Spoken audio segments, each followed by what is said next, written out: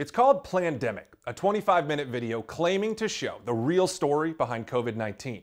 YouTube is deleting it for violating guidelines on COVID misinformation, but that hasn't stopped tens of millions of people from sharing it on other platforms. So we're gonna dive into this, but first, we wanna focus on who is putting this together. On their website, the creators say the purpose of Plandemic is to, quote, expose the scientific and political elite who run the scam that is our global health system, while laying out a new plan that allows all of humanity to reconnect with healing forces of nature. So they've got a message they're trying to send, and they do it in this snappy looking documentary. Let's go. Dr. Mikovits published a blockbuster article in the journal Science.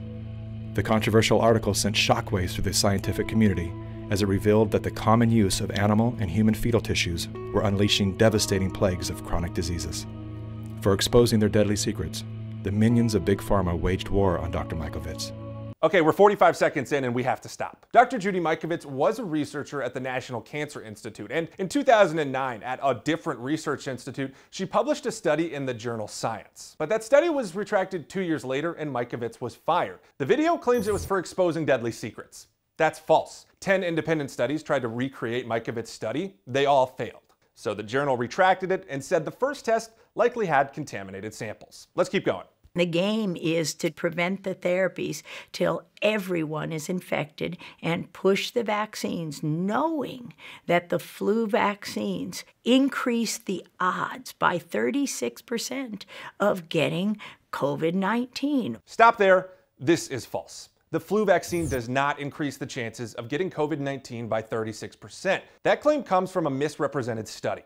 The real study by the Department of Defense was testing whether the flu shot made you more likely to get other viruses. But after testing, the conclusion was no. The flu vaccine didn't increase the odds. And that study was in 2017, before COVID 19 existed. Back to the video. Wearing the mask literally activates your own virus.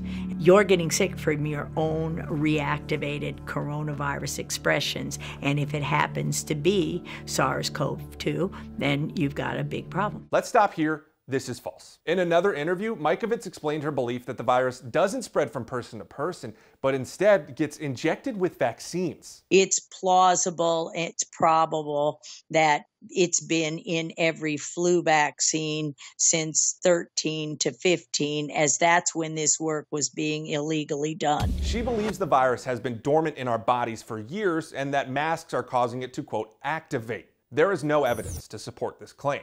There are reasons it's false, like COVID testing.